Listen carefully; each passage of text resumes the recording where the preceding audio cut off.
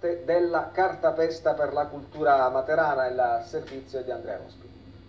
Presso l'Istituto di Istruzione Superiore Isabella Morra di Matera è stato presentato il progetto L'arte della cartapesta per la cultura materana, nato dall'esigenza di coniugare i due binomi didattica integrata progetto di vita e scuola territorio nell'ambito del processo di integrazione degli alunni diversabili bisognosi di percorsi educativi speciali. Referente didattico del progetto la professoressa Porzia Rossetti, organizzativa Maria Teresa Vena, valutazione Franca Di Chio, docente esperta interna Rosa Di Sirio. Alla presentazione, oltre ad intervenire i referenti, i rappresentanti delle istituzioni, della Curia Arcivescovile e dell'Associazione Maria Santissima della Bruna, presente anche il maestro cartapestaio Michelangelo Pentasuglia, che quest'anno sta realizzando il carro in onore della patrona dell'Arcidiocesi di Matera Ursina, ed il suo collaboratore Giancarlo D'Ercole, che durante il laboratorio di cartapesta hanno mostrato ai cinque alunni coinvolti nel progetto la tecnica decorativa su un angelo che proprio gli stessi alunni avevano realizzato. Il progetto, che prevede tra l'altro che gli alunni diversabili dell'Isabella Morra seguano i lavori di costruzione del carro trionfale,